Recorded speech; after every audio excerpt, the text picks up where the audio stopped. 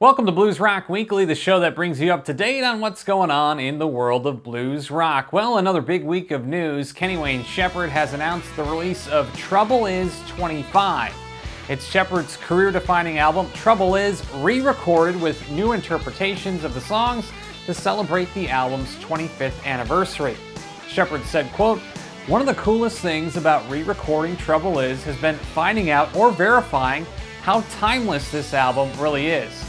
A lyric video has been released for True Lies. Get the full scoop on the album and hear True Lies at bluesrockreview.com. Samantha Fish has plans to release a new album with Jesse Dayton in May of 2023. The duo are playing dates together in December.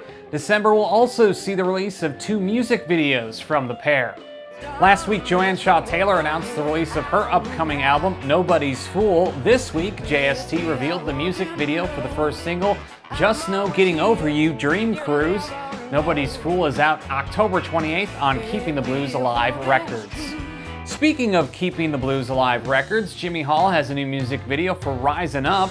It's the latest single from his newly released album, Ready Now, produced by Joe Bonamassa and Josh Smith.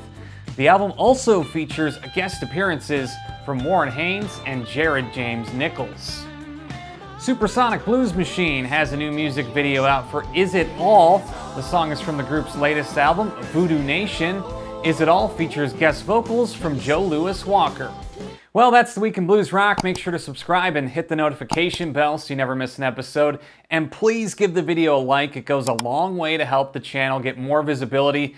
And blues rock is a genre that deserves more attention, so thank you for your support. We'll see you next time on Blues Rock Weekly.